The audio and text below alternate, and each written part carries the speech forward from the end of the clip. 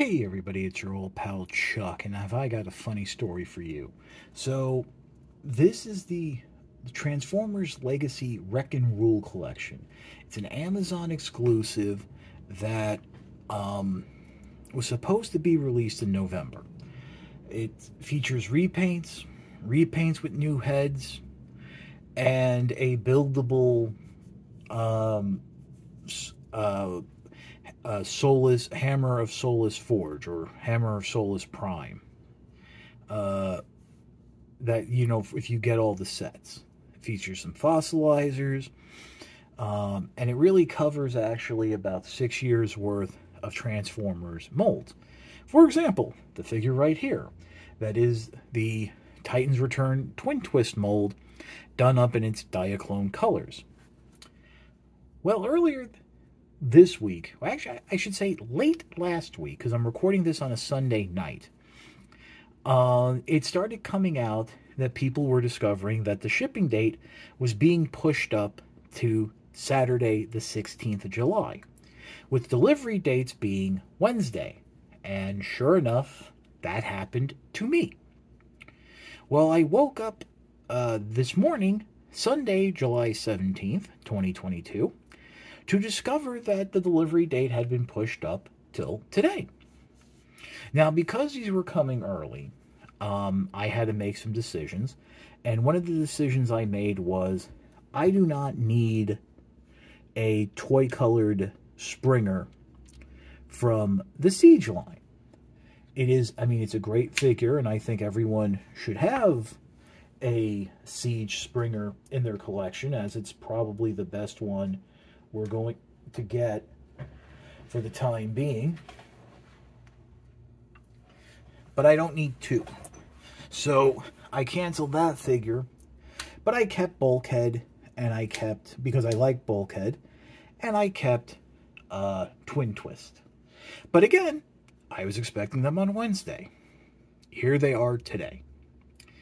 So yeah, we're taking a look at Diaclone Universe Twin Twist basically what this is, we are taking the Titans Return mold and doing it in its Diaclone colors, which I kind of already said.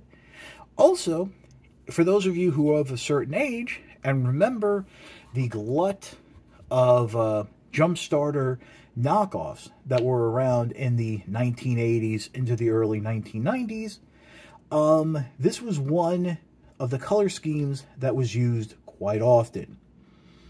So it is nice to see it uh, featured here. Uh, but it's, again, basically the same figure as the Titans Return version. And again, as I said, Amazon exclusive. So what we're going to do right now is we're going to pause and we'll come right back uh, for some comparisons. Uh, before we continue, I just wanted to point out this is the piece of the buildable forge or hammer that it comes with. This is the grip. And no, this is not going to be a role play item. It's going to have a base. Although I guess you can remove the hammer from the base. But it's a nice heavy cardboard. This is actually heavier than the box the figure came in. Speaking of which, the box was actually kind of in the shape of a hammer. I don't know if that was intentional or not, but uh, Twin Twist was secured in the packaging using um, folded over cardboard and tape. N no twist ties, no plastic ties at all. Really not impressed with the packaging. The box is the box. The box is going to make a diorama as we're used to um, by this point. So there's that. Now, moment of truth. The original Titan Return, Titans Return Jumpstarters were late wave figures, which means not a lot of people got them. I got them through a personal seller who I was doing business with, and basically only got them to do a comparison video with the, in my opinion, superior um, Takara Legends figures, which basically removed the weapons here and gave uh, Topspin and Twin Twist target masters that could be used by them, but were really designed for the Autobot tar uh, Target Masters that were being released in the line that hadn't already been given uh, Target Master weapons. At least that's what I believe. Because of their um, late wave release, a lot of stores didn't get them, ergo, a lot of people didn't get them. So now they actually go for uh, a few hundred dollars. The Takara Legends versions also go for a few hundred dollars because for a while those were the easier ones to get and there was a demand for them because at least those could be found. Um, I don't have the Titans Return versions. As soon as I did the review, I sold them off to a guy I was doing business with. He got a great deal, and who, knowing him, he probably turned around and sold these uh, for a massive profit. But that's what it is. I needed to get rid of them because I didn't have space for two of the same character. Titans Return is a six-year-old line. The Takara Legend versions of Topspin and Twin Twist have been long put away into storage. I don't know where they are. I could look, but to be very bluntly honest, it's really not worth it to me to lose a half hour, 45 minutes, an hour for like a two second part of a video. So what I am going to do, since I know a lot of you would like some form of comparison, is this. This is a screen cap from the original review. Um, as you can see, we have the Takara version here on the left with the Target Master and the original Hasbro release on the right. Um, not much difference in colors uh, as it was between uh, Topspin, but you can see here how there is that change from the Transformer re releases from the original Diaclone. One thing I do appreciate is the fact that, on the Hasbro version, unlike the original Titans Return release, like they did on the Takara version, they did uh, color in the little notch here, which is where the hook on the original flip uh, Jumpstarters would be the the the, the uh, little piece of plastic that would hold the vehicle mode um, as it rolls. So there is that. Other than that, as you can see, it's red chest, blue limbs, gray, uh, blue accents, uh, gray hips, thighs. Um, a very different, you know, vehicle mode uh, not view, but color scheme. Um, and this, you know, again, the original Diaclone toys were meant to cart around the Diaclone pilots and be drones for them. I, th I think they really were more for, to complement the larger bases that turned into larger robots. So yeah, I mean, the head is the same. I did check that. It's just, you know, painted differently, different deco and stuff. But there is that. If I'm honest, I would have preferred having uh, still uh, the original Titans Return figures just because um, the Takara versions didn't come with these weapons, and that if you dish out, you know, give the target masters to the proper uh, partners, uh, these guys are unarmed. And these are great re uh, replicas of the classic weapons. And for those of you who are unfamiliar, one of the gimmicks of Titan's Return was the weapons could combine and be used as a either a combined weapon that can be held right here or as a seat for the Titan Master, which I'll go ahead and remove. Now, with this release, the Titan Master does not have an individual name. And I'll be very honest, I don't remember the individual name for the original figure. But there it is. Nice little paint scheme. It's a headmaster. in Titan's Return, everybody became a headmaster, whether it made sense or not. So there's that. And because of that nice little notch on the back of the legs, the figure can sit. And we can do things with this in vehicle mode, which we'll get to.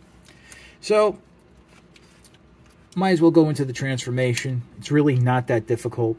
I do remember back in the day when I originally reviewed these, I strongly made the argument that this was a heavy retool. And in fact, Hasbro was once again using tooling uh, from uh, one of the other uh, uh, head uh, Titan Masters. Um, I think it was maybe the De Decepticon jets, which were all retools. Basically, my point being was is that Hasbro was clearly using the same mold over and over. I was told I was wrong, that any similarities to the transformation were just, you know, happenstance, but really a moot point now. So to start the transformation, you want to remove the head first, which we did. Remove the weapons as well, which we also did. And separate the figure here at the hip. You're just going to bend it over at this peg joint, not at the hips. And then what you'll do is rotate the whole section around just like so. Open up the canopy, which will allow you to flip out the drills. Close the canopy for now, secure things into place. At this point, begin to roll down the treads for the drill tank. Because don't forget, in Japan, drill tanks are very great. Open the panel there, collapse the forearm into the bicep, flip the fist up, close the hand. This was actually a really cool and inventive transformation back then, and still is a very fun transformation to do to get to one vehicle mode, to get from the vehicle mode like this. Next, what you're going to do is collapse on this double hinge here, the arms into the torso. There's a tab there that's going to peg into the upper part of the bicep, and tab on the uh, where the wrist would be that's going to peg into the front of the nose cone just go ahead. Joints are fairly still tight, so this is kind of nice to do. But make sure, don't be shy, get it in there. Make sure everything's closed up well. These will put a little stank on it. And yep, that looks about right. Next, what you're going to do is flip this section back up this is now going to uh, snap in more securely to that to the section here that was the um, uh, neck cavity for the Titan Master. Rotate the hips around. Come underneath and basically open up the back of the legs. Now, and open up these knee pads. Now, the instructions show you to peg the legs together and then collapse them.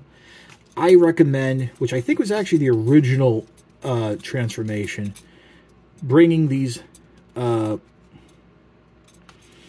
legs up, fold up the feet before you peg them together. I just think it's a little bit easier. You have a little bit more leverage to do it. Bring those knee panels down. And then peg the legs together. And of course, if you are so inclined, you can give them a little extra push right there. But there's Twin Twist in its drill tank mode.